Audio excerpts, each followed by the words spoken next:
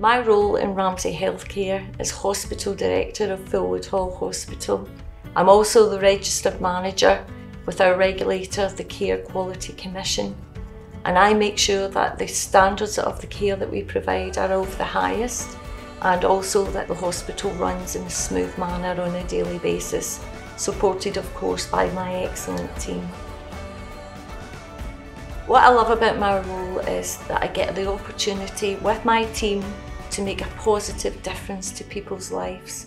When I walk around the hospital every day, I'm so proud and humbled to see the way that all the staff interact with our patients and the caring nature that they treat patients.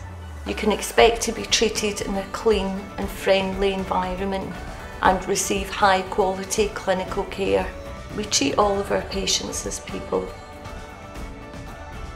What inspires me is the quality of care that we provide to our patients and the number of patients that we treat and the excellent outcomes that we provide.